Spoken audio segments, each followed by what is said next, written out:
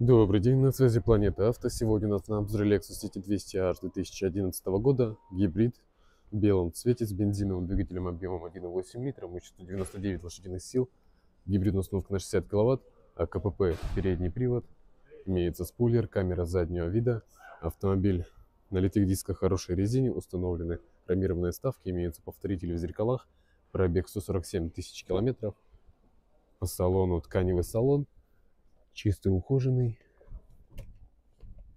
Имеется кондиционер, двухзонный климат-контроль, мультимедиа, кнопка старт-стоп, спорт эко-режим, мультируль, подрулевые лепестки, круиз-контроль, система SOS, омыватель фар, электрорегулировка зеркал, 4 стеклоподъемника. Актуальную цену наличия данного автомобиля. Смотрите по ссылке в описании.